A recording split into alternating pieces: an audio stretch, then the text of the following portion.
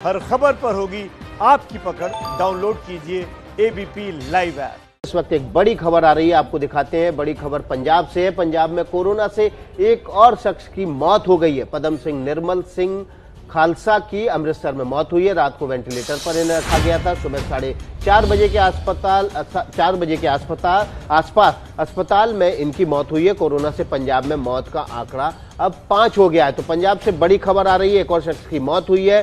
ये वेंटिलेटर पर रखे गए थे। इनका नाम निर्मल सिंह खालसा है और सुबह चार बजे के आसपास इनकी मौत हो गई। कोरोना वायरस से संक्रमित थे। पद्म श्री निर्मल सिंह खालसा की अमृत अमृतसर से मौत की खबर डराने वाली है। आंकड़ा पहुँच गया है पंजाब में पाँच का। अब देख लेंगे हमारे संवाददाता जगविंदर पटियाल से। जगविंदर, पाँच हो गया है पूरा आंकड़ा मिला के कुल।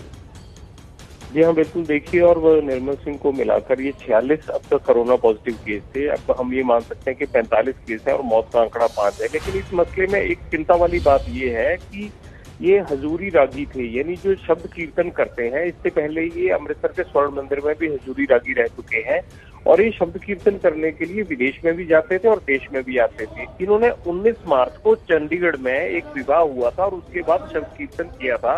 इसलिए अमृतसर प्रशासन ने, चंडीगढ़ प्रशासन को इतला दी है कि जितने भी लोग उस कीर्तन में 19 मार्च को चंडीगढ़ में शरीक हुए थे, उन तमाम लोगों का मेडिकल चेकअप करके उनको क्वारंटीन किया जाए, क्योंकि हो सकता है कि ये संक्रमण उन लोगों में भी फैला हो या फैल सकता हो। तो ये एक चिंता का विषय है कि अब इस पूरी चेन को पकड़ने के लिए चंडीगढ़ एडमिनिस्ट्रेशन को हरकत में आना होगा।